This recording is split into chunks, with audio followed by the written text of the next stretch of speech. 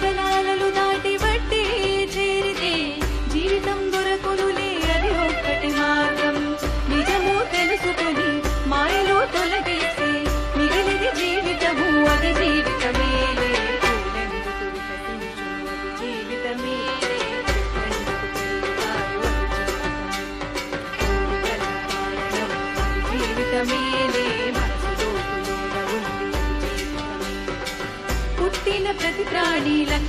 లక్ష్యం ఒకటేలే పూలెందుకు జీవితమేలే చెట్లెందుకు పెరుగుతాయో కోరికల కారణము అది జీవితమేలే మనసు లోతులోన ఉంది అది జీవితమే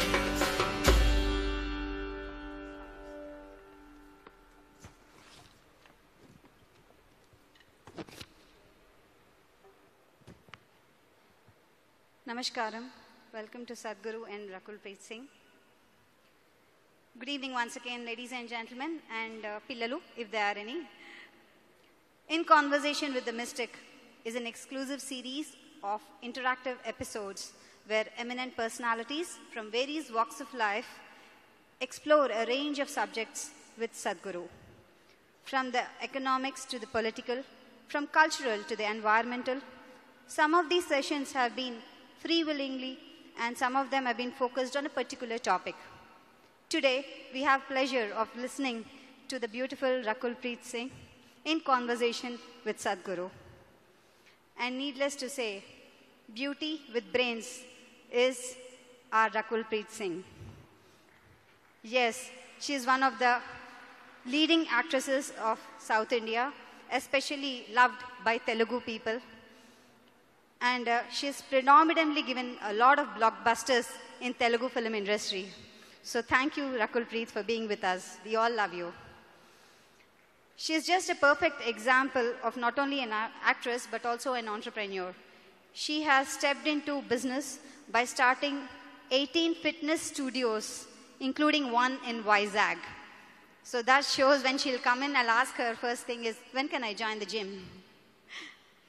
So she is not only that, the Women Development and Child Welfare Department of State of Telangana recently announced her as the brand ambassador of Beti Bachao, Beti Padhao campaign. Congratulations, and we all wish you do a good job there. And I'm very blessed to be here in presence of Sadhguru, the founder of Isha Foundation. He is regarded as one of the most foremost spiritual leader of our times. We have a very short film to introduce him. So kindly, please orient yourselves towards the screen. In the next half hour, you're going to meet a man who has a devoted following across India and indeed around the world. While yoga and meditation are at the core of his teachings to promote individual growth, the work of the foundation covers conservation, education, and health. And you'll find him astonishingly pragmatic on a range of very modern day problems. Let's meet Sadhguru. For the very first time in the history of humanity, we have the necessary resource, we have the necessary capability, we have the necessary technology to address every human problem on the planet. Even twenty-five years ago, we couldn't have dreamt of it. But the only thing that is missing is consciousness. Today, the spotlight is on a project called Green Hands in India. We started a mass campaign and uh, six years I spent planting trees in people's heads. That's the most difficult terrain, believe me. And now in the last six years, we've been transplanting it and that's happening much more easily. Action for Rural Rejuvenation is mainly aimed at rejuvenating the human spirit.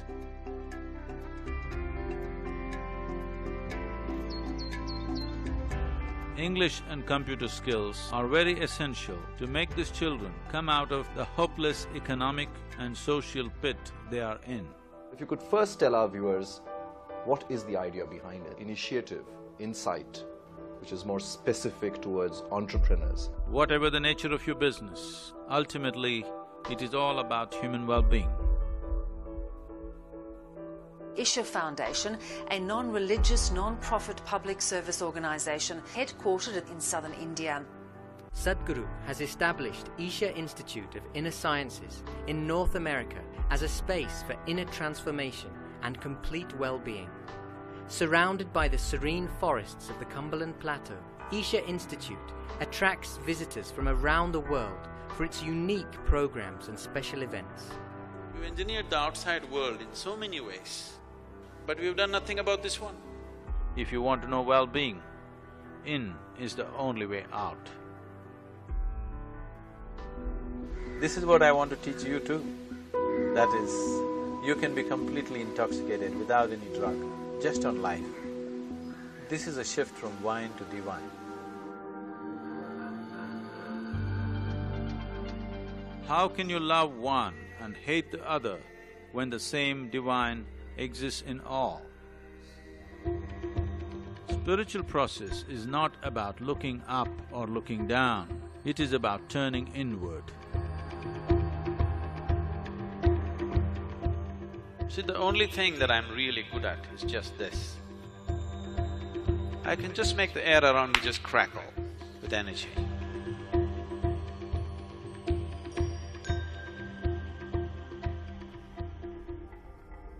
Adiyogi is the source of yoga, the first yogi. Adi Yogi will inspire many generations to take up yoga.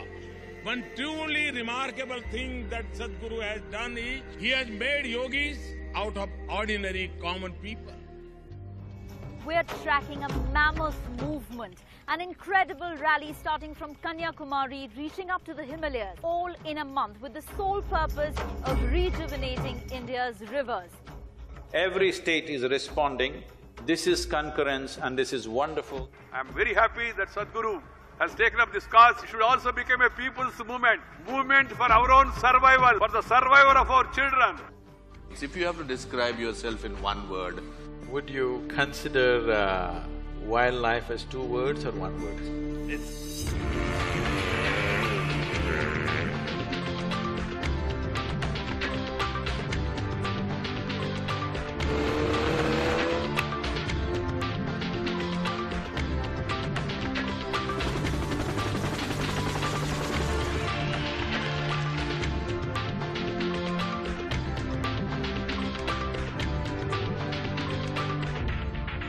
Pranab Mukherjee felicitating uh, his Sadhguru for all his spiritual contribution.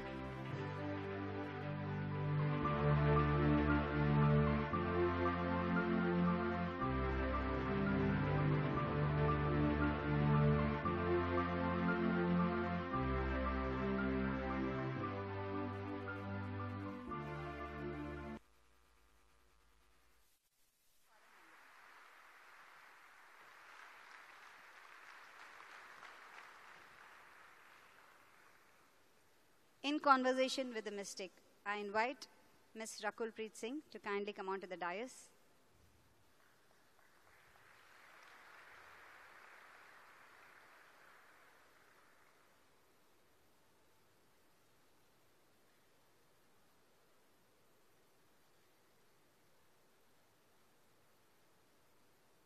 And now I invite Sadhguru Garu onto the dais.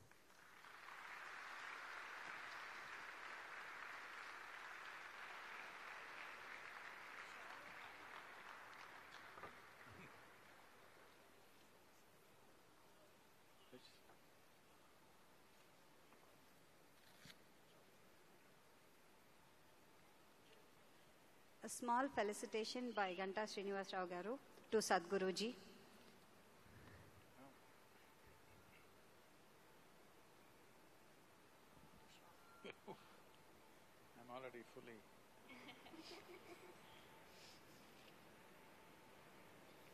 Ganta Srinivasarao గారు shawl ఇచ్చి ఆయన భక్తిని సమర్పించుకుంటున్నారు కృతజ్ఞతని సమర్పించుకుంటున్నారు. ధన్యవాదాలండి.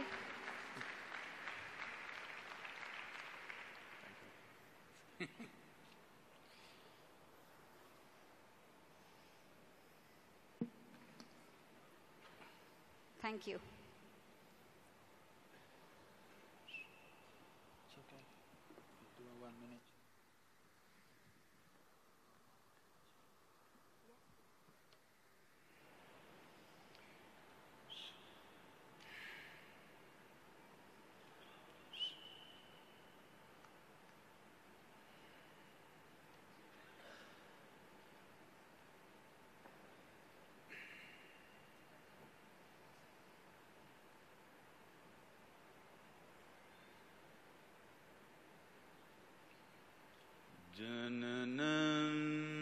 जननं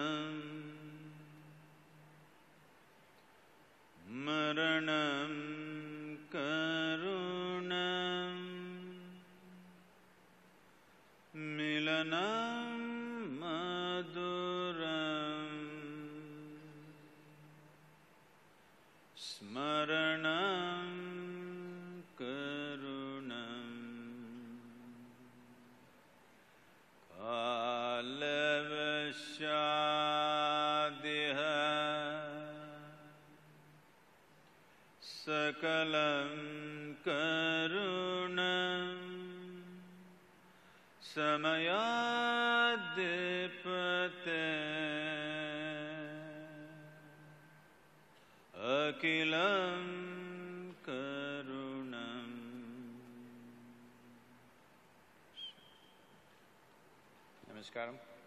Namaskaram to everyone. Namaskaram.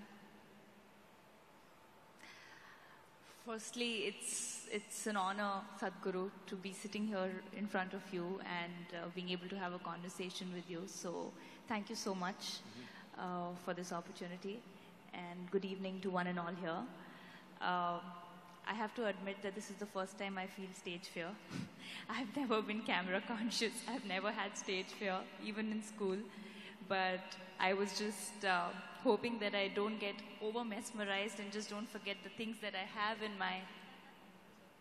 I'll be looking away. Yes, please. and, and the questions that I have in my mind.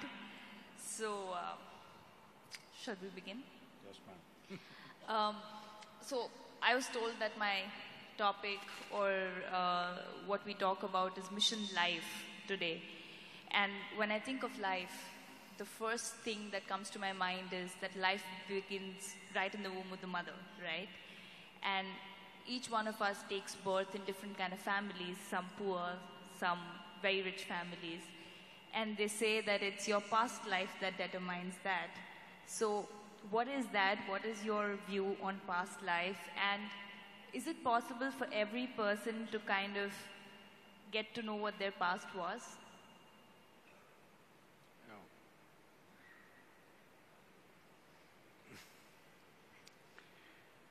Now, uh, it is true that if you, uh, those who have more than one children, one child, I'm sorry, would know this if they paid attention. But otherwise, you can go to a hospital, watch ten, ten children who are just born. You will see these ten children are not same, they're just born, but they're not same. Each one of them have their own characteristic. Even if two children have come of the same parents, you have a sibling? Yes, I have a younger Nothing brother. like you. No, we're poles apart. So, uh, though same genetics, same home, same food, probably same school many times, but so different. So obviously, from this we can assume there is some other data. Though genetic data is same, atmosphere is same, everything else, all the inputs are same, but there is some other data which is making you so different from your sibling which is in every home, it is true. Very rare that two siblings are of similar nature.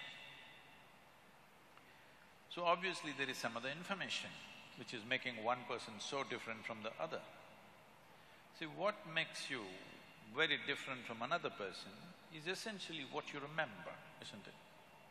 Suppose I wiped out your memory and I wiped out another person's memory totally, both of them would act about similar. Only because you have a memory, it is so different. Now when we say memory, what you know as conscious memory is only a very small part of the memory. Do you… do you remember how your great-great-great-great-great-grandmother looked like? No. Her nose is sitting on your face though, isn't it? Your body remembers. This body remembers so much that you cannot even imagine, that much it remembers. So you can say this is just genetic. It is not just genetic. There are eight forms of memory. These eight forms of memory in the yogic way of looking at things, we say this is elemental memory, atomic memory, karmic memory, genetic memory, and articulate memory, inarticulate memory, and conscious and unconscious levels of memory. So eight forms of memory. You are normally conscious of only an extremely small part of your memory. How your forefathers were a million years ago, still even your skin remembers what should be the tone, isn't it? Nothing forgotten. So there is a, a tremendous amount of memory here. So what you're calling as karma, what you're calling as past life, there is memory. Past life is memory, isn't it? Right now what happened yesterday is only in your memory, it's not hanging anywhere here. So, does life go beyond the birth of this body? Definitely it does, but I don't want you to believe such things. Because the moment you believe such things, you start imagining things. This is uh, gone crazy, particularly in United States. Anybody who says, if they like this person, oh, maybe our past life. Three days of romance and then they realize there's no future. Right, right. So, if you start believing these things, your imagination will fly, it's no good. But if you access these dimensions, then it transforms you in a completely different way. Is it necessary for every human being to access these memories? Not necessary. Because most people cannot handle the memory of this life, they're freaking. Yes? True that, true that. Ten, twenty years of memory, they cannot handle it. If you remind them of ten lifetimes of memory, what will happen to them? They better not remember. Anyway, a whole lot of things are being done in the, you know, all imported from United States largely about past life regressions and this and that. These are just psychological processes. With psychological process, if you go to a certain level, essentially you're going into analyzing yourself. With this analysis, you could come to some conclusion, some imagery, whatever. Through psychological processes, you can never, ever break through the barrier of memory which separates you from one life to another. Something deeper than your psychological structure has to be activated for you to know that. Is it possible? Yes, it is possible. But what is the purpose? Now, there are some people uh, on, on purpose now, it's said, I don't know how much or to what extent it's right, uh, that certain people have patterns in their life, you know, um, of say failure on work front or be it relationships or, or just they're, they're lucky with certain things, unlucky, and then they're directed towards a direction that maybe, you know, you've got some thing from your past life hanging on and that's why they go into regression uh, to kind of clear out those layers and auras is what I've heard. So how much is that true? See, essentially what you're saying is certain things going wrong in this life means you're in some way incapable of handling this life. Now I will hand you one over one, one more lifetime to you, will you handle it properly? No, that's definitely not the reason why you go there. Sometimes for spiritual reasons, to enhance certain dimensions, we do break through those things, but uh, that is not at all needed for most people because their lives will get totally, totally disturbed by this. I'm just saying, for example, it so happened Let's say you're walking on the street and uh, I'm just making this frivolous, okay? you're walking on the street and you saw a street dog and you remembered, oh, this was my brother in my past life. And you ran after the street dog, but the dog doesn't remember. you know what'll happen So you should not believe these things. But does it exist? Definitely it exists. So the attitude that you must take is you do not believe these things, but you do not disbelieve these things. You don't you mind cl you clearly understand life is much more than what you think. So there could be any number of possibilities. If you want to explore, if you're interested, I can give you a method how to explore. But just believing something, because somebody says in your past life you were this, you were that, this will only destroy the present life, because you will go from reality to hallucination. Right, right. But as long as it's just to get an idea, just for fun, inquisitiveness sake, then it's fine. no, it can No. get you into serious trouble. Right. But then you do agree that there are soul connections, like the souls remain the same around. I mean, that's what I've heard, that people say that your family or your near and dear Which ones. one are you talking about, the right one or the left one? The souls? Yeah. Well, both. They were together in the past life. So, so I'm talking about both together. So you already found your soulmate, huh? right. I think only in my slippers I found my soulmate. Uh, so does that happen? Like they say that your friends or your families or, you know, from your past lives to now, they remain the same or the souls around you are the same or maybe in form of your friends. Uh, I would advise people to make new and numerous and new friendships now. Even for lifetimes, if you can't make new friends and the same idiots are going with you every lifetime, really you must be in a terrible condition. Yeah. I know you come from a, a profession where people used to sing Janam Janam all the time, but not anymore. no, no, no. We just make them believe on screen. Trust me. Not That- anymore, right? No, only on screen. we Only still in make them believe. seventies, Janam Janam happened, not anymore. Even now, we dance around the trees and make them believe that that exists, but the reality is quite different.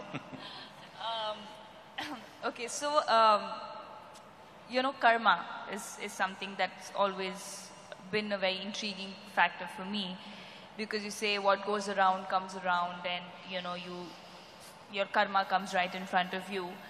Still, I always feel that in a country like ours, there is so much that people get away with, you know, in terms of corruption, in terms of crime, or power takes over.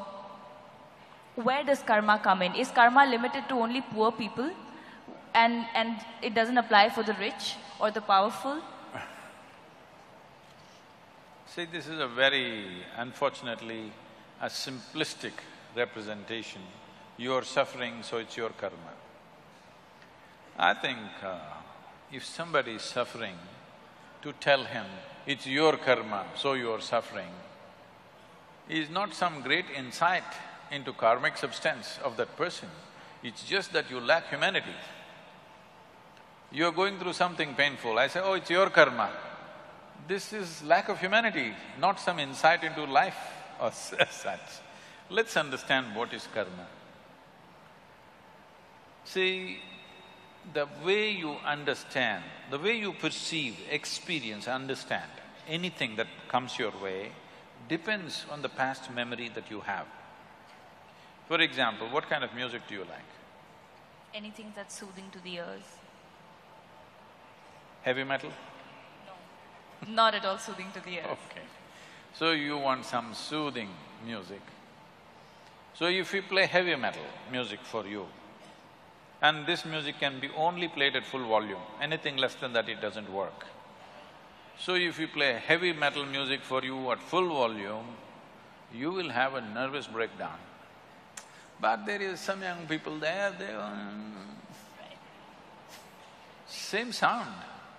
In one people's… in one person's ears, it becomes music. For another person, it's noise. So, how you recognize a particular sound, this is your karma.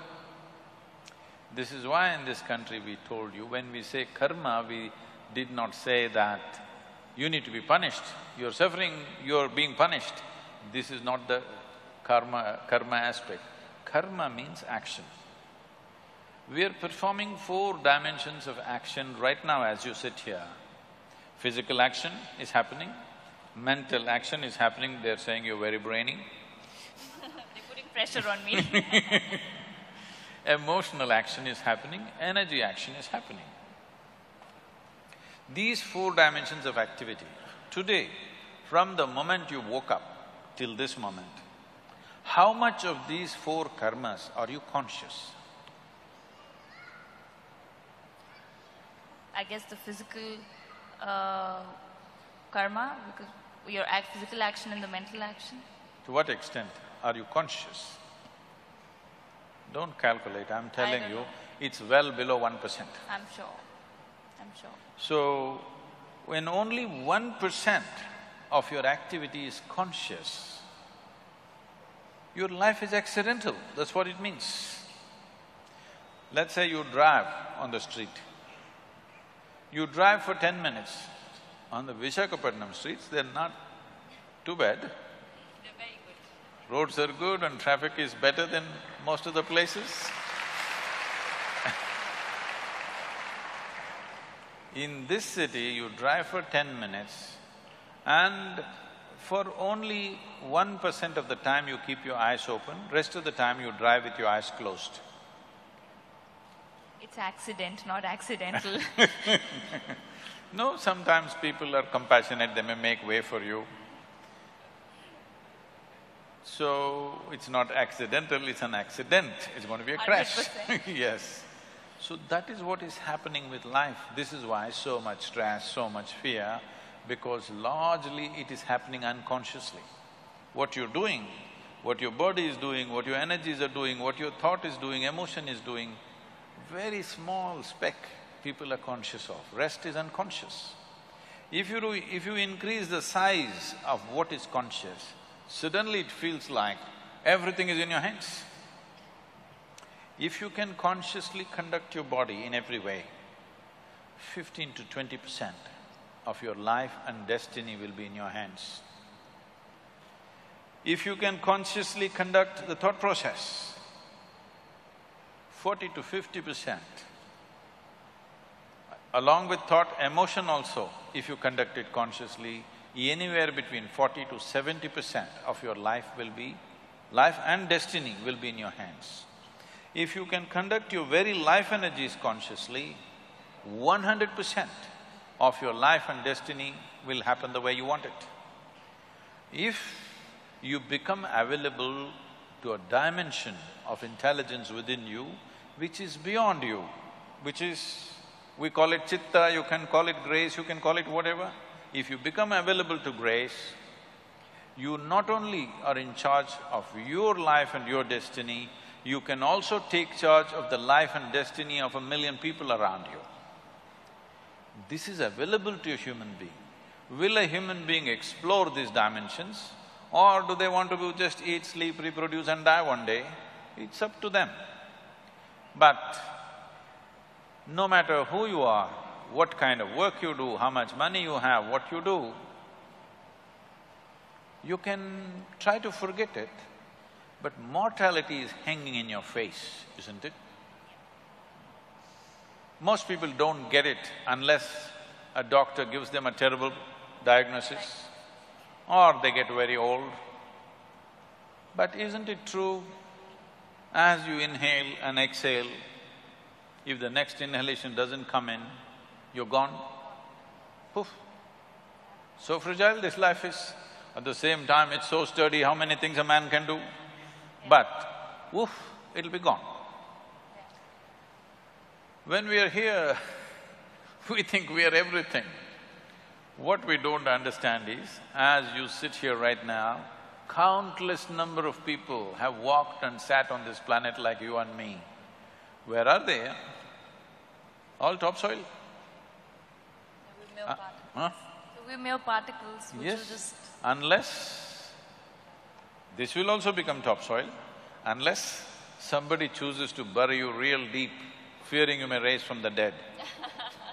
You know, there have been instances. Yeah. Can I tell you a joke? Sorry? Can I tell you a joke? Yes, please. This happened. There was a couple in Texas, over seventy years of age. It was their fortieth wedding anniversary also. They've been planning, they've been always wanting to go to the holy land of the Jerusalem. But being in business, children, this, that, they never made it. Over seventy years of age, now they got the opportunity. Both of them went. They were overwhelmed by the whole situation there, they walked the streets, they walked in the street where Jesus is supposed to have walked. You know, Jerusalem reeks of history. Every stone, every cobblestone reeks of history. Then they went to that place where Jesus is supposed to have walked upon water. They were completely overwhelmed, thoroughly enjoying their trip, but unfortunately, the lady had a heart attack and she died. You know it happens. Then he was making preparations to take the body back to Texas. Then the local people approached and said, see, this is not a bad thing. Your wife has died in the Holy Land. This is the place to die. So there is no need to go to Texas and above all, it costs you eighteen thousand dollars to transport your wife's body to Texas. We will do it here. Eighteen thousand dollars plus local charges there. So for you, a special price because you are from Texas, twenty thousand dollars, we'll do everything. The man thought about it and said, no, I will take her to Texas. They said, no, no, no, you are under stress, you know. Please don't uh, torture the child, whoever.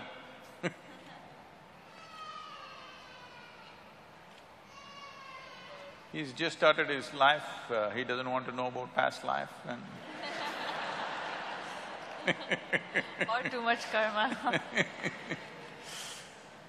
so, uh, twenty thousand dollars.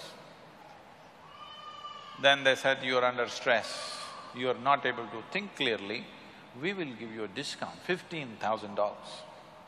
Let's do it. The man thought about it and said, no, I will take her to Texas. They said, no, no, no, you are under duress, you're not able to see things clearly. What is the point? This is the place to die, Jerusalem, this is the Holy Land, she wanted to come here and she died here. This is where it must happen.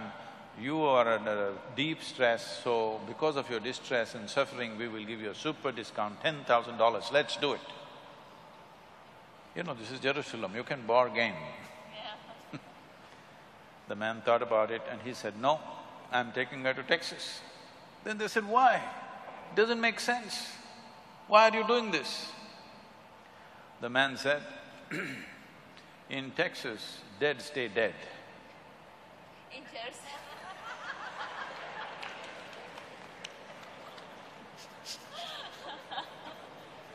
well, he didn't want to risk it.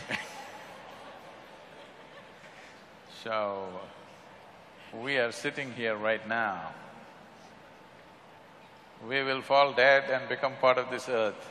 Somebody else will be walking over it in no time. It's a brief life. It's a very brief life. Especially if you're joyful, it's a very, very brief life. Have you noticed this on a particular day? Yeah, happy days just Happy days just like go this. like a moment, miserable days take a long time. It- So only miserable people can have a long life. If you're joyful, before you know what hit you, it gets over. So in this brief life, is it not important that extremely brief life, for the immensity of what a human being can be, this time that's allotted for us is too, too little.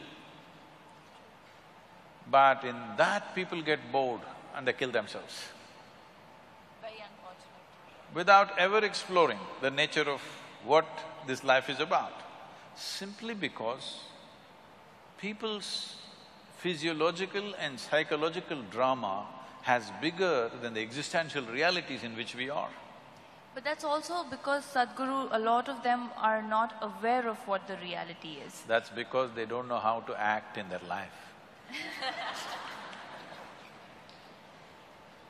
No, They're thinking it's real, you need to tell them. Right, like you're showing them a path, you know, and no, which you is a need great… to tell them it's all an act. Well, unfortunately, somehow I feel a large percentage in our country is still struggling for the basics, you know, which is the food and the shelter and home and clothes. So for them, that is it. That meeting their ends is, is tougher. That is So- an unfortunate reality. Still, basics like food and shelter have not happened. That's a different thing. But believe me, those who are successful are suffering a lot more than those who are not so successful. You… Uh, I'm constantly working with business leaders around the world and I see most successful people have the longest faces. I agree. I don't know what makes it so difficult to just put a smile on your face all through the day. so, if people don't have anything to eat, that's a different situation, we have to fix that, there's no question about that. But people's psychological drama, what you think and feel becomes bigger than the creation. True. Because of that, life gets all messed up. After all, it's your thought, you can make it any way you want it. After all, it's your emotion, you can make it any way you want it. But that freedom and that awareness is not there simply because less than one percent of it is conscious. Rest is all in reaction to something else. So now, now you said, you know, most of it is we're not conscious about the actions and coming back to my question where my main point was, what if it's a consciously bad karma that a person does, you know, say, say a murderer or somebody who commits crimes or, you know, there's so much, so much happening in our country today. Now, where does karma fall in place? Because my question was, in at least our country, it's not like the Middle East where people are highly punished. There's a lot that you can get away with. Um, because a lot of times, just the way they're living itself is a punishment. so, we don't think we have to punish them further. No, but but there are quite a lot. I mean, we, we all know that, you know, there are people who get away with a lot of things and, and uh, very unfortunate that it is. But does, is it, is it somehow, somewhere that we are not able to handle things properly in our country and we blame it on karma? See, it's not just in this country, everywhere it is there. Here we have over ten thousand years of uh, culture and history, so we have learned many more tricks We have learned many more tricks as to how to do these things. Essentially, karma means action. As I said, four dimensions of action. In the physical world, action naturally has a consequence. It is not like somebody is sitting up there and they're going to punish you for this or that. You said if a consciously negative karma, see what is negative and positive is not in the action, it is in the volition, it's in the intention. I'm sorry to take such an example, but uh, you come from an army setup, your family is there. Armed forces means we have built armed forces mainly so that if somebody bothers us, to kill them. Nothing wrong with that. You get a medal for that. Because we're doing it for a cause that we believe is sacred for us. But we must understand somebody else unfortunately believes their cause is also sacred.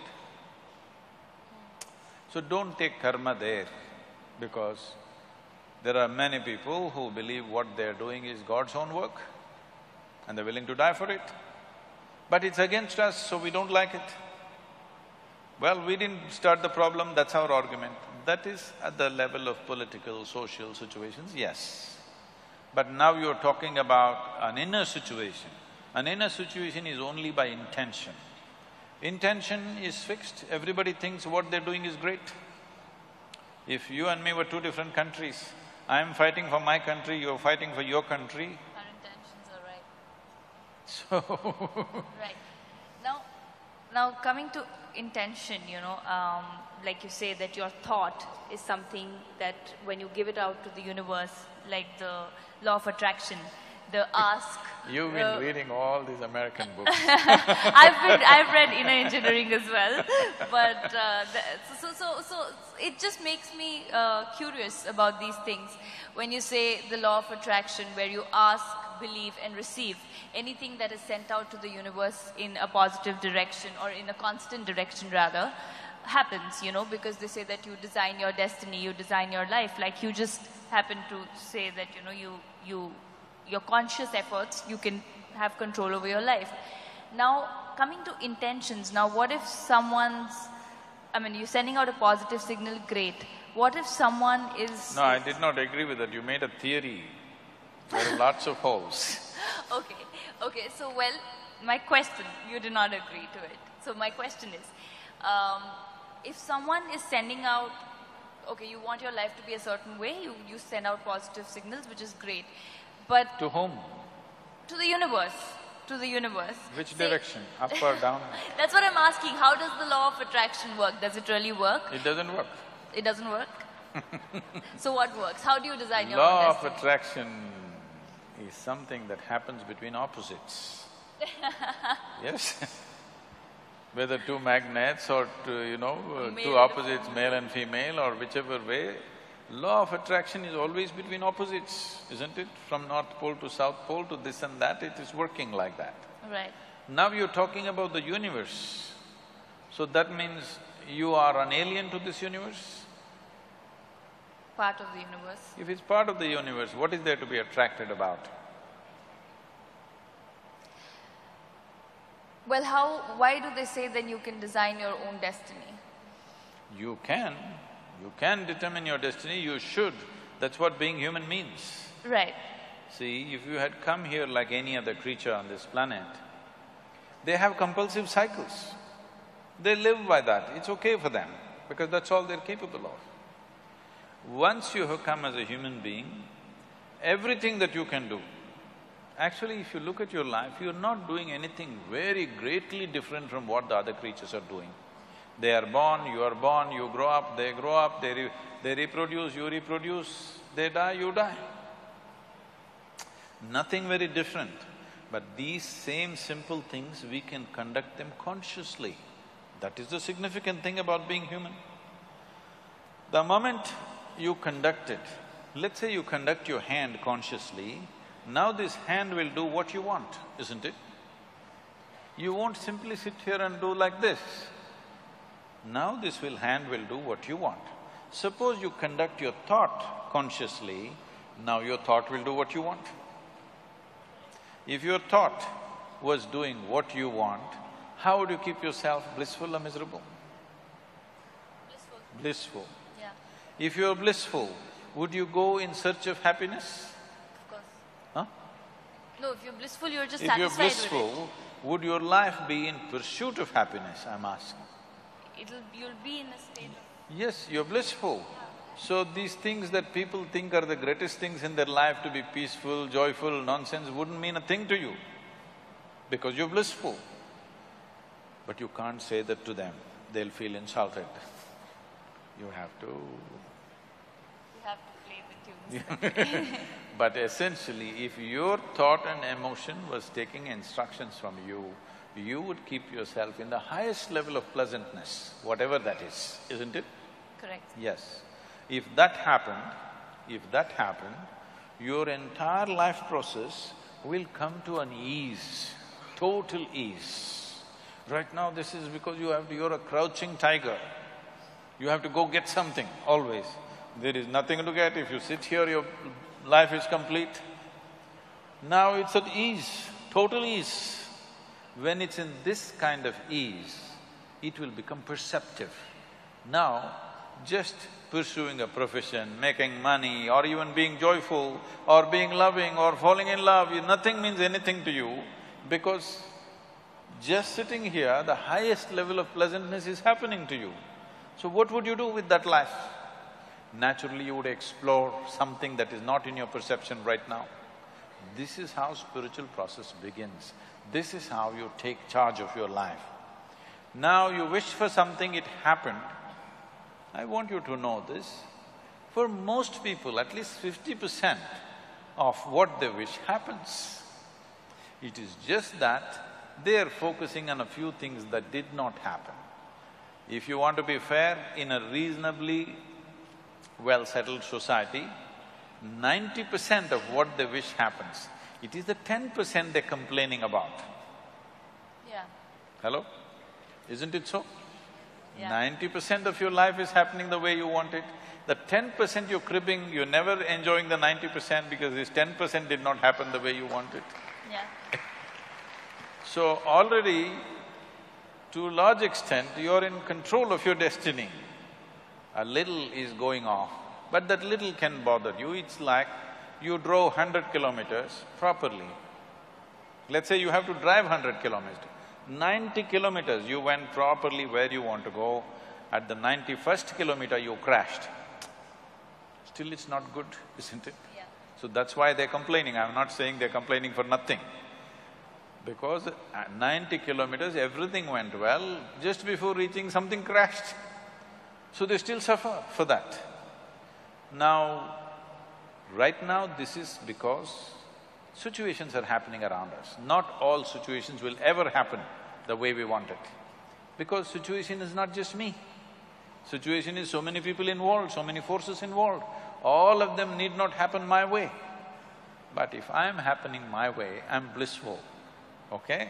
Whether the golf ball flies straight or goes into the mountains, I'm still blissful. As long as you're playing golf. Even if I'm not playing. Right. So, so now coming to this, now as long as things happen your way and you're on your own path and you're blissful and you know, No, positive. no, no, no, no, no, no, no.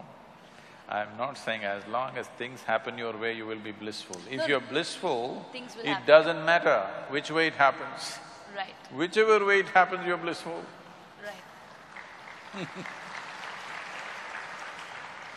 See, this is essentially the world has put cart before the horse.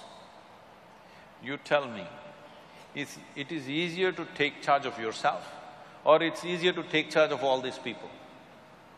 Of, I mean, it's tougher to take charge of yourself, you know. Or you can take charge of these people, try. No, because people, no, no, no, because I, I, why I'm saying that is because people don't realize that they need to take charge of themselves and are out there to take charge of societies and communities and people and trying to change No, others. right but- now, you're sitting here. To myself. Is it easier to take charge of yourself or take charge of all these people? Myself. Yourself. You must first do that, no? What is simple and easy? If you take charge of yourself, let us see how much we can get cooperation from these people. Now, when you say you're in pursuit of happiness, what this means is, you want all of them to function the way you want. Then you will be happy. Now when we say, if this happens, I will be happy, if that happens, I will be happy, what it means is, the world should function, the universe should respond your way. That's not what I'm saying. No, I, I don't believe in that because that's trying to put conditionality into everything that, you know, this is how it should function according to me. What I, what I was saying was that say, okay, for example, a very basic example of somebody wants to be an actor or somebody wants to be a cricketer and I'm taking a ba- very basic example of what you want to do in life. And you work… Let's say it did not happen. It did not happen means what? People did not like your acting or uh, the selectors did not like your cricket, something happened. Right. So what you want did not happen. Can you still, still sit here blissfully? That's a question. Not a lot of people. That is can. why I'm saying, what you're trying to do is, when you say, everybody should like what I'm doing, in some way you have to take charge of their minds, that's what you're doing. In some way through your cinema or whatever, in some way you're taking charge of the charge of their mind and doing what appeals to them, and that's why it's working, isn't it? Otherwise it won't be working. Right. So, which is easier, taking charge of this or taking charge of them? This. If you take charge of this, now you are not in pursuit of your happiness, you are not tense about anything, there is no, you know, sword hanging on your head, you will do everything to the fullest, to the hilt, because you don't care what happens. Whatever happens, you'll be still fine, this much you know. Now you will naturally do everything wonderfully well because there's absolutely no concern, because you're not a vested interest anymore. You will do what is needed without any effort. So, what somebody thinks is a great circus and a feat, you will do it joyfully, playfully. Right. So, well, you just completely negated the fact that there's no law of attraction. There is nothing No, like there that. is, I'm sure a lot of people are attracted to you. Not that law of attraction of, of, of the universe gives you what you want. But anyways, um, uh, No, where is the universe, I'm asking? right here, we are a part of the universe. We, we, When Adiyogi was asked by the seven sages who are today known as the Saptarishis, they asked, Where does the universe begin? Where does it end? How big is it? What is it? So he laughed and said, I can pack your entire cosmos into your mustard seed. That's a very efficient packing, isn't it? Very, very. So, because what you think is time and space is because of the nature of your mind. What is there, if you transcend the limitations of your own logical mind, what is there is here, what is here is there, what is then is now, what is now is then, everything, time and space gets all mixed up in your perception. Right. So, when this happens, now you won't be talking to the universe. Those who are not on talking terms with their neighbors talk to the universe. right. Now, say, you know, in a, in a, in today's competitive world or uh, where people really think that you need to uh, cut, you know, there's cutthroat competition and you're working towards it and then there's negativity and say if someone is for example, I'll take an example of myself. I believe in completely just working towards your goal and being positive about it and not looking around on what's happening or what people are doing.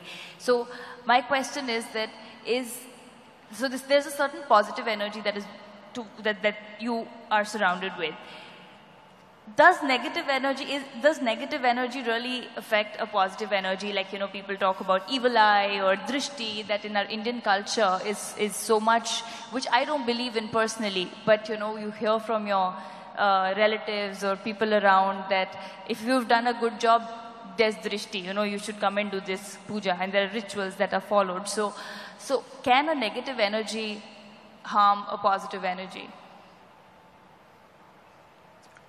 See, uh,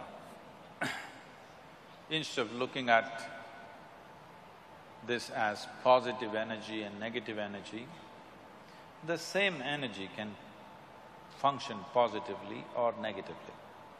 What is, if something works favorably for me, I say it's positive. If it is works, works as a detriment, I say it's negative. But it is not essentially negative or positive. It may be what is darkness for you is light for a whole lot of creatures on this planet, isn't it? Electricity is right now doing positive things to us, so if you stick your finger into it, it does something else to you. It is still positive as far as the… you touch the positive only, not the negative. so, what it does is simply dependent upon variety of things, the way it arranges itself. So, is there something like you are uh, surrounded by some negativity which affects your body, mind, energy, everything? Yes, there is. this is something, uh, you know, uh, just three, four days ago, they were giving me the studies they have done. In the… in our yoga center, we have a rejuvenation center. We have called… we have what is called as Klesha Nashana Kriya. Sorry, what is it called? Klesha Nashana Kriya, that means a Kriya which destroys impurities. To put it simply, few of them knew what to do, maybe previous generation knew gradually, they just started doing like this. But if you observe a person and do it in the right way, it does certain things, so we have a whole scientific process. How to do this, just the same thing. See, it, today let's say you're very exhausted or let… Rejuvenates you Yes, completely. rejuvenates you in some sense. So this is a water wash. Similarly, we can do wind wash, we can do fire wash, we can do substance wash like with grains and other things we can do.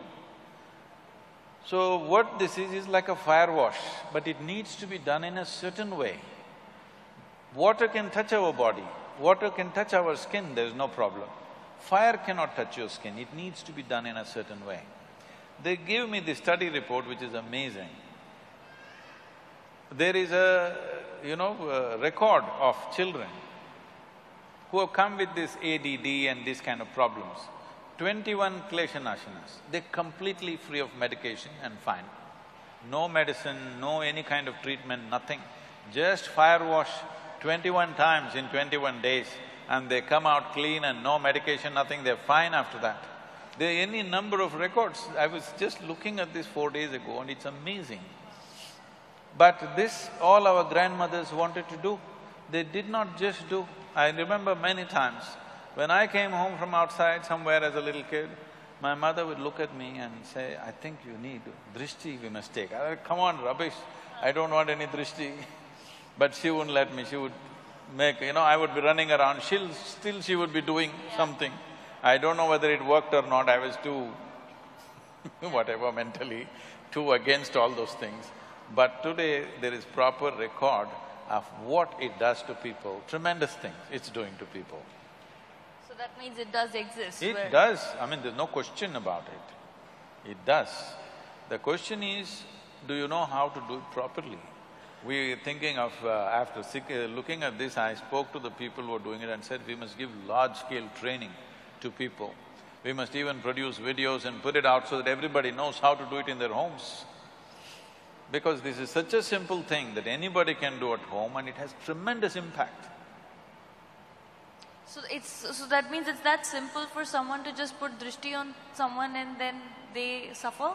Like, say in terms of ailment or you know, like, they saying take off drishti, say suppose I don't believe in it at all. And I believe, like, same, like you said, your mother would run around you, like, uh, and you didn't believe in it, I don't believe in it, and I feel that if you're a good person, these things can't harm you. If you're doing your things the right way, uh, how well, can someone… I want you to know a lot of good people go through works in this world. Sorry, go through? Lot of good people go through terrible works in this world. Yeah. This is not a movie, this is real life, where a lot of good people suffer like hell, isn't it? Right. This brings to the first thing, that that means good things don't always happen to good people. Oh, not at all. because Unfortunate. I must tell you this. A lady was driving in Minnesota. She had a flat tire. And she got out. She had never handled a flat tire. Have you ever? Uh, no. No. No. Once when my driver was with me, so I was… I was okay. So she had never handled it. She was in a party clothes with high heels. She struggled, she put the jack lifted. She was terrified because she had parked in front of a mental asylum and there were all kinds of strange sounds coming from inside. So with great nervousness, she somehow took out the wheel, unbolted, took out the wheel, then she got the heavy, you know, uh, the spare tire, she got it out of the car with great difficulty carrying. She had put the four nuts in a hubcap. You know, these days there are no hubcaps, they used to be hubcaps. And uh, tottering around on her high heels, she stepped on the hubcap. On these four nuts flew in four different directions. Now she did not know what to do, no nuts, how to fix the wheel. She just stood there dejected. Then from the third floor of the mental asylum, a young man who was there called her, hey lady. She looked up terrified. He said, see, take out one one nut from the other three wheels and fix this wheel. With this you can easily drive to the next gas station and there you can fix it up. She did just that. Then she looked up at him in gratitude and this, she said, you are a, such a smart young man.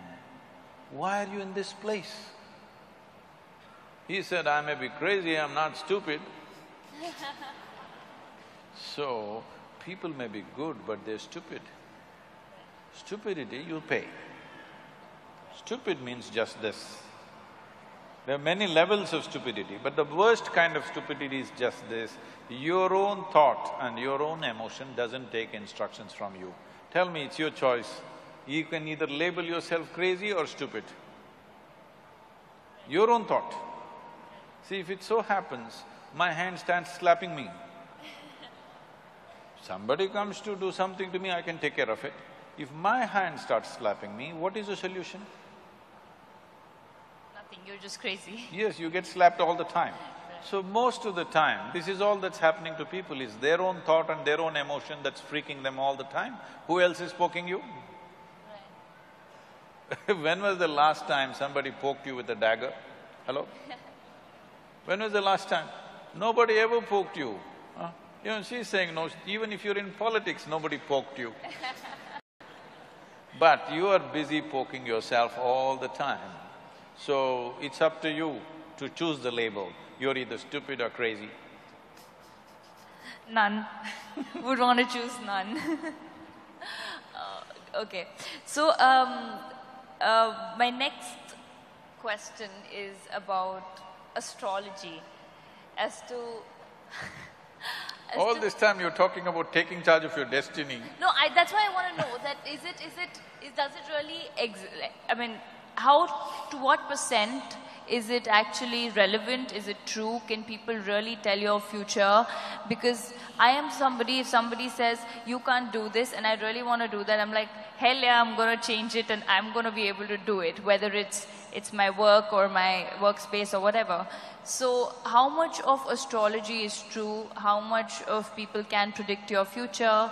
Is it true that we are born with, you know, a certain um, life that people predict? You have a horoscope? I do, which I've never read, but they say a lot of things. I said a horoscope. Horoscope? Yeah. No. It's a horoscope because if it's already written what you could do and could not do, your life is a horror. Isn't There's it? no excitement in life then. It's not about excitement, there's no potential. It's already written. You're not a potential life. You're a past life. We could have just framed the horoscope and bury you. Hmm. Right. Instead of framing your picture after you die, we can frame the horoscope and bury you today, what is the problem? Is it anyway the same thing? Because once you're past, it is just this, that which people remember about you, either it's written or in their minds, like a story. So there's no science to it. We'll come to that. There is some. See, every object, especially if it's a large object like a planet or a star, it is exuding its own reverberation. Right now, this vessel is exuding its own reverberation, believe me. It is. Scientifically, we can prove this, that it is exuding a certain level of reverberation. Right now, it contains water, so it is exuding one kind of reverb. Suppose we put milk in it, it will be exuding another kind of reverb. Suppose I put… pour some mercury in it, it will exude something totally different. So every object, every physical form has its own reverberation. Now, if I don't have an established way of being, now this vessel could slowly influence me. To such an extent, many people, they touch a vessel and after that they can't keep it down. Don't… don't literally take a vessel. Many objects, they touch it and after that they can't keep it down, isn't it? Because without the reverberation of that, they cannot exist in many ways. So when this is the case, a planet could have its own reverberation. Now, it is up to me whether this vessel will determine my destiny or I will decide the destiny of this vessel is up to me. Because, I'll ask you a simple question, between inanimate objects and human consciousness, which do you think is of a superior dimension of function? Of course, human being, isn't it? In a way, this is also a piece of the planet, it's just earth, isn't it? It's just the soil. Either we get it now or one day we'll get it from the maggots, but it is the soil. But here it reverberates in a certain way because it's conscious, it's intelligent, it's many things, very brainy. Hey, you got a certificate, I don't have, so I'm using it. You have a certificate from the world, everyone's here listening to you. So, this is conscious. This should determine the nature and the destiny of the inanimate object. When I say inanimate object, what you call as a planet, all the nine, eleven planets are also inanimate. Yes, they're big, but they're inanimate. The stars that you're talking about also are inanimate, and many of the stars that you believe are there are not there, actually. Yes, many of them are actually not there. They died long time ago. Because it takes light years for the light to reach you, you think it is there, but they're gone many million years ago So, inanimate objects should decide the destiny of human consciousness or human consciousness should determine the destiny of inanimate objects, which way it should be. This should decide, isn't it? But right now, a whole lot of people are allowing inanimate objects to decide their destiny. They definitely have an influence. Will you allow it or not is the question. Do you know that uh, on full moon nights and no, no moon nights, we are on the coastal city, the waves are coming up, tides. Do you also know people if they're psychologically disturbed on those days, they become much more disturbed? Yes? I'm asking you, this is between you and me. Do you go crazy on full moon nights? No. No? I never go crazy. I find it hard. So that means the full moon, which has such a big influence on the ocean, such a big influence on that person who's mentally fragile, has no influence on you? So, the thing is whether you are going to allow it to influence you or will you influence it, is the question. Full moon is only rising certain things within you. If the whole ocean is rising, obviously all the fluids in our body, including our blood and everything else, you know, all the gland secretions, everything is rising. It doesn't create madness. If you're little crazy, it'll make you more crazy. If you're joyful, it'll make you more joyful. If you're loving, it'll make you more loving. Whatever you are, it enhances you a little bit because it's pushing it up. Over seventy percent of this body is fluid, isn't it? So if the ocean is rising, is nothing rising? Definitely something is rising. So full moon day means, in this country, full moon days and new moon days were the real holidays. Because it has something to do with our life. On that day you go to the temple, on that day you meditate, on that day you spend with the family, all kinds of things. This was important.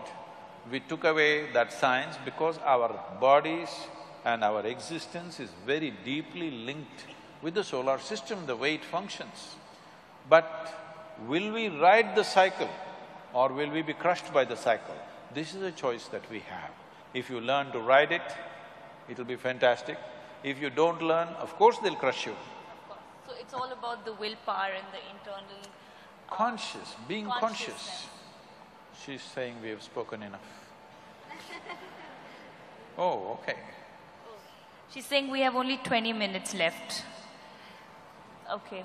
So she wants me… yeah, she wants me to wrap it up right now. no, no, I'm kidding.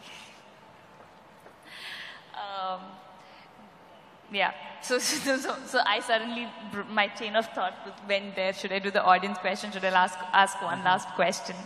Um, but, but my last question, Sadhguru, would be, you know, it, whenever I'm, anyone talking to you or listening to your speeches or, or following you, or me for example also, feels that life is really simple, you know, and it's beautiful and it's, it's, it's full of love everywhere. We are love. Things around us are exude love. You know, things around us have life.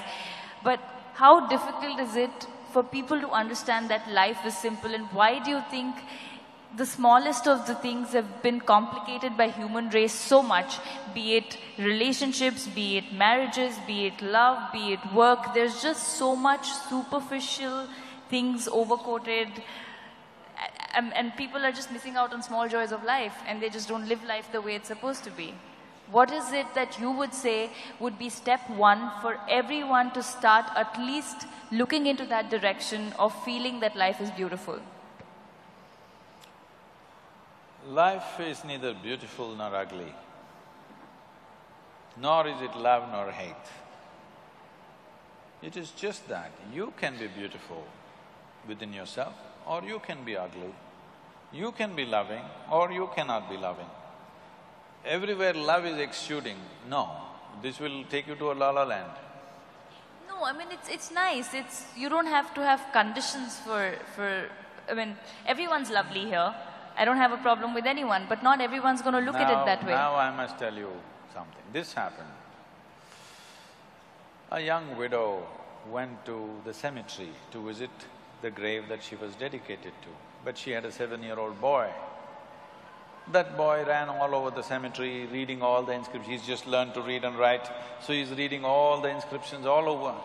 Then he came back to his mother after 20, 30 minutes and said, Mama, where do they bury all the horrible people? Everybody is beautiful is not true. Then this is la la land. It's not true, people can be extremely ugly. But if you are beautiful, even that ugliness you can transform to whatever extent you can. Will everybody come your way? No, they will not. If they don't come your way, will you become ugly? No. That is the important thing. Right. When things don't happen your way, are you still capable of being a beautiful human being? That is all you have to fix. Right. If that one thing if you fix, everything is fine. When nothing happens your, your way, are you still a beautiful human being? See, we mu- you must understand this. This is the only thing that this culture has ever worshipped. I want you to understand. Since yesterday, people have been reminding me of this because there is also a real estate issue today. You know, Rama is hugely worshipped. Even today, he is having property problems. yeah. He had continuous problems. Young prince, grew up well, well-educated for those days, very balanced, nice young man, gets married to a young, beautiful princess. For some political reason, he has to leave his kingdom and go to the forest. I know in the movies, in the Rama Rao movies and also Ramanand Sagar's television serial, Rama and Sita are in the forest and all romance and all this. That's not how it works in the jungle. I've lived in the jungle by myself alone for weeks on end. When I used to come back after two, three weeks in the jungle, even my parents wouldn't recognize me, they would look at me, what has happened to this guy? Because insect bites all over and your face is swollen and it's a different thing. Living in the jungle is not fun. It is fun if you enjoy it, I did, but it's not easy on your system. So this young princess, she's not Adivasi or something, she's a princess. Taking her and living in the jungle is not some romantic story. It's a hard thing. The idea of sending him to the jungle is so that he must suffer, isn't it? Right. As if that was not enough, the Sri Lankan people came and kidnapped her. From where? From Uttar Pradesh, huh? Not here. From Uttar Pradesh, they steal his wife and go away. He is a king, he could have found some local solution for himself. But his wife means so much to him, he follows all the way, walking all the way down. No airplane to fly, walked all the way, the kidnapper had a plane. all right? but he had no airplane, he walked all the way, fought a battle, and then burned down a beautiful city, somehow took his wife back and went home. She became pregnant. For a king, his wife becoming pregnant is very important because he has an empire, he needs a son, all these things are there. But at that time again some political issue happens, then he has to send his wife away to the jungle. No sonogram. He does not know whether she's bearing boys or girls or what. Two boys come, he does not know. Then he fights a battle with those two boys without knowing they are his sons. For most human beings in their life, if anything truly horrible has to happen, knowingly or unknowingly they kill their own children. That is the worst thing that can happen to them, isn't it? He almost did it, not knowing. He almost killed both his boys. And then his dear wife, obviously she's dear to him, otherwise he wouldn't have followed all the way down. His dear wife dies in the jungle and he never sees her in his life. This is not a success story, isn't it? But even in recent times, during the independence uh, for, you know, freedom struggle, Mahatma Gandhi went on referring to Ramraj because in this culture, one of the best administrations ever has been Rama's administration, how he administered his nation. So, when all this extreme drama was happening in his life, worst kind of drama is happening, here, this guy never married again. He lived alone, he almost fought his… killed his own children, complete disastrous life. But he remained balanced and did his administration and whatever work he has to do with such balance and efficiency that after five, six thousand years, when we talk about a ideal nation, we say Ramaraj. So, the essential thing is this, whatever the drama, however bad it is, every deal is bad. What happened in his life, if one of those things happened to most people, they'll crack up. One of those things, serial disaster. But he is doing everything to the best of his ability that he can do in the given moment and fulfilling his duties, whatever he has to do. So it is that freedom that he has from his drama that's happening around him, absolutely free. This is mukti. As he is alive, he's Jivan Mukti, as he is alive, he is free. It is that freedom that we are bowing down to, not his being a king or a god or whatever, because the man remained free of the extreme drama that was continuously happening around him.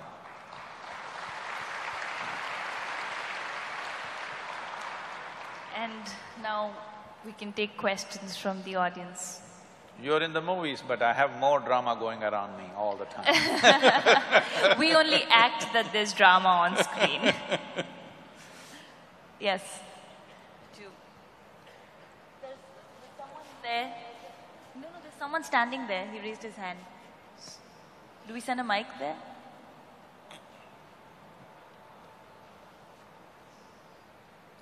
Namaskaram, Sadhguru. Namaskaram, Sadhguru. I have a question. Uh, Before the question, Can't hear. okay.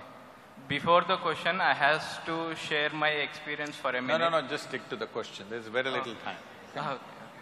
And I have a, sometimes my longing for the enlightenment or to touch the peak of life, it bubbles up sometimes and it goes too high. I got tears in my eyes and then it just shut down and it normal, normals again. And my question is how to keep that longing constantly high uh, so that continuously I can touch the peak of my life. He's asking you. You're asking me? He's, you're asking. I, I was trying to. The, the audio is not that clear. He's asking you, obviously. Oh.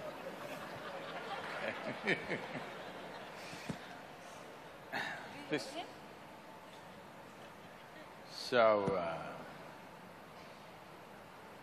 see every human being, every human being, even if you take those human beings who you think are the most miserable sort, even they have their moments of joy, otherwise they wouldn't be alive.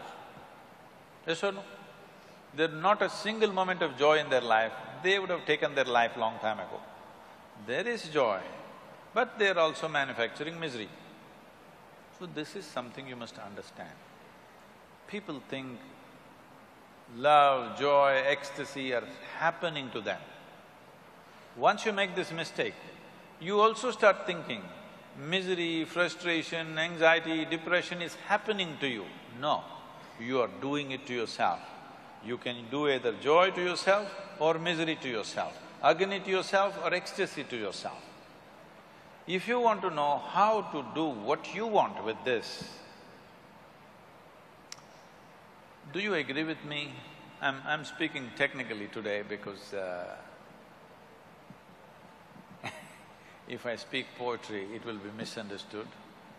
If you speak philosophy, it'll go all over the place. Technicality, technology is something that you cannot distort at least. Do you agree with me that this human mechanism is the most sophisticated mechanism on this planet? Huh? Do you?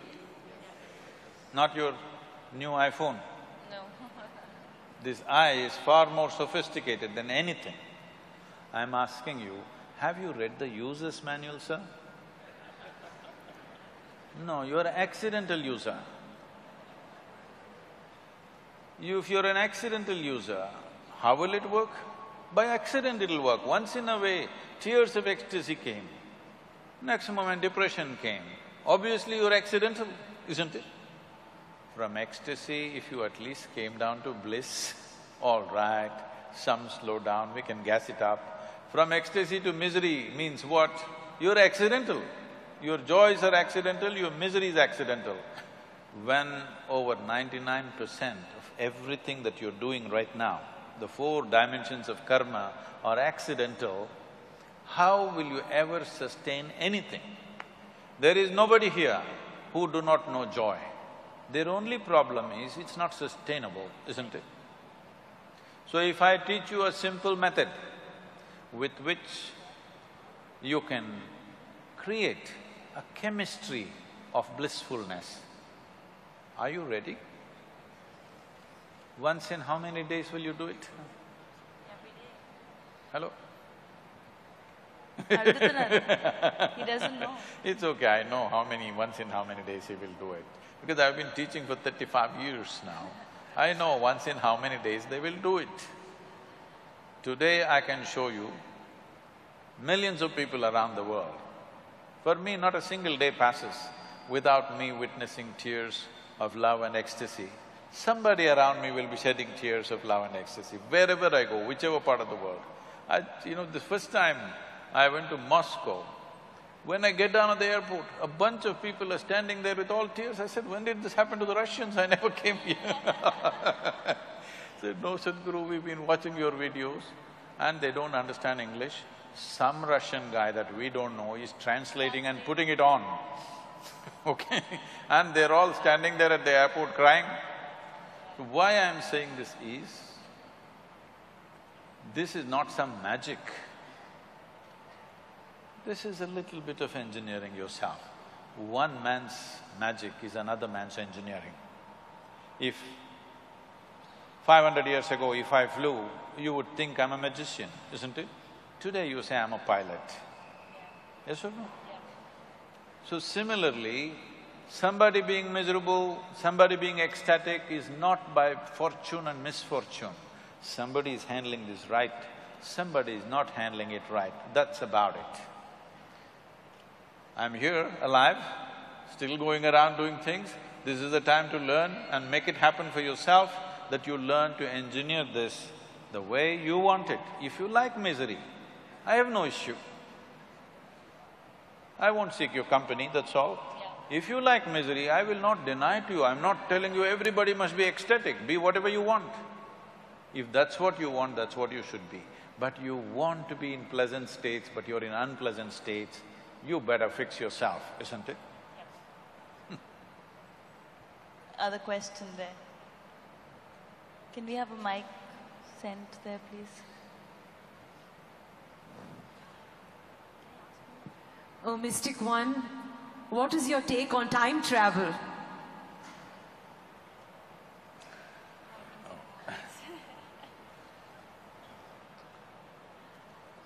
I thought my number was different. Okay. Time travel, I think I already spoke about it and uh, this idea of time and space comes to you because you're working within certain limitations, functioning within certain limitations. See, in the yogic way of looking at things, generally, how modern physics also is moving towards this direction at a very top level, but generally the textbooks physics that you read in the high school says because there is distance, because there is space, it takes certain amount of time to get there, isn't… isn't this how you understand? Now from here you have to drive to your home, because there is distance, because there is two kilometers, it will take so many minutes. No, that's not how creation is. Because there is time, there is distance. Doesn't make any logical sense to you. Because time is of two different types. The way you know the time right now, you understand the time because something here is going in cyclical moments. You understand What is a day, what is a night, what is today, what is tomorrow, simply because the planet spun once. Or if it… the moon goes around, we say it's a month. If the planet goes around the sun, we say it's a year. Essentially, your understanding of time is cyclical in nature. Anything that moves cyclically, by that you come to the understanding what time it is by counting that. Suppose nothing was cyclical, how would you know time? But still there was… Be, there would be time, isn't it? So in your experience right now, only cyclical dimension of the physical seems like time to you because your whole experience of life right now is limited to your physical nature in the sense you know life only by seeing, hearing, smelling, tasting and touching, isn't it? If you could not see, hear, smell, taste or touch right now, you would have no experience of life, either of what's around you or even yourself. It happens to you when you fall asleep that you are not seeing, you're not hearing, you're not smelling, you're not tasting, you're not touching, neither the world exists nor you exist. But if you transcend that limitation, that you do not see, hear, smell and taste, but you're still there, if this happens to you, you would understand what I'm telling you, that time is first. Because there is time, there is space. So what happens, the time that you know due to the cyclical movements is called kala in India. Kala, kala, kal. The Hindi people cut everything into kal. It's kala or kalam. So what is kala? Also means darkness. Space is always dark, isn't it? We're using the same word to represent both time and space because space is born out of time. And you understand time only because of the cyclical nature. But if you know time, which is beyond cyclical movements of whatever, physical entities, then we say you know Mahakala, a greater time which is not of cyclical nature. So if you touch this dimension called Mahakal or Mahakala, in Tamil we are Mahakalam, if you touch that dimension, then there is no time for you. It's not that you travel in time, there's simply no time for you. There's no such thing as time for you. Everything is here and now. Any other questions? I think. This is the last question. Get this lady, one of the girls too. Okay. Who do we take? You pick. It's up to you. Hello, Sadhguru. Hello, where? Oh, somebody. Here, uh, this, uh, straight to you. Oh, there, right Yeah, there. So, uh, good evening. Are you? Right side, Sadhguru, there, standing, third row. Okay. From the One bottom. with the Okay, green okay, dress okay, okay, okay. You just have to wave your hand, then we will figure out. I did raise We got my it. hand. No, no, that's fine. Yeah, yeah. All right. So, Sadhguru, my question is to you, uh, is dharma definite? If it is not, does it uh, make an individual opportunist? Well, we went to from karma to dharma now. See, the problem with this country is, there was a time when every generation produced thousands of enlightened beings, realized beings, sages and seers and mystics were all over the place. So, the vocabulary of the most profound became vocabulary of daily usage also. Because of this, people are always throwing these words around, mukti, moksha, prarabdha, karma, dharma, this one, that one, everything, without understanding the full depth of what they're uttering. Simply, loosely it is being thrown around.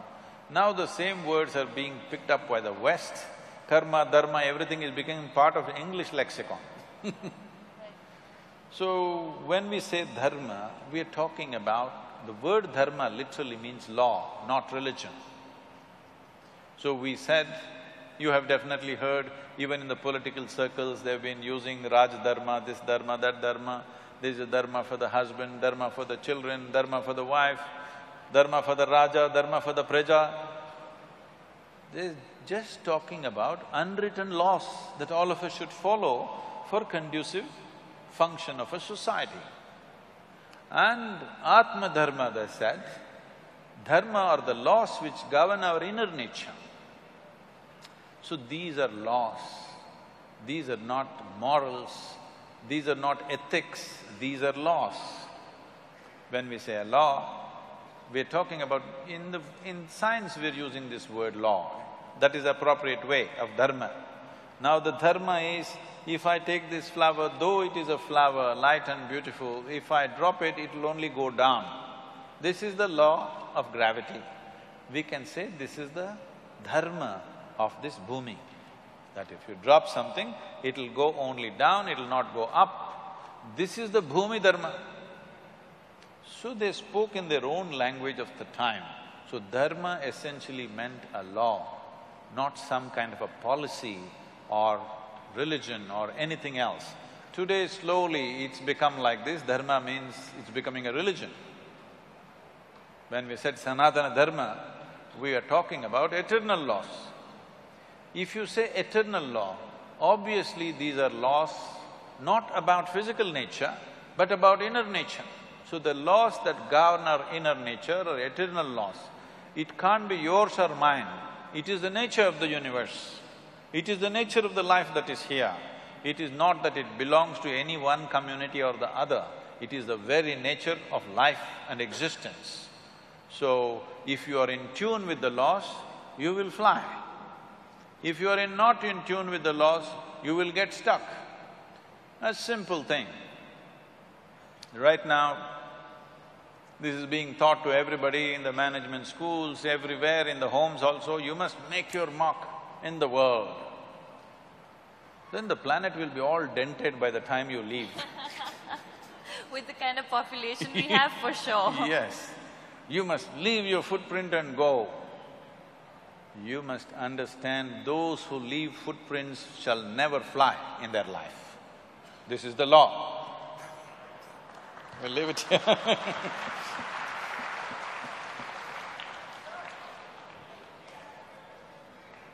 Thank you, everybody. I'm sure. Uh, Madam is the boss. I'm sure you must have enjoyed uh, this session as much as we have enjoyed bringing it to you. We thank uh, Rakul Preet and Sadhguruji for this uh, thoughtful exploration. Thank you very much, all of you, for being here.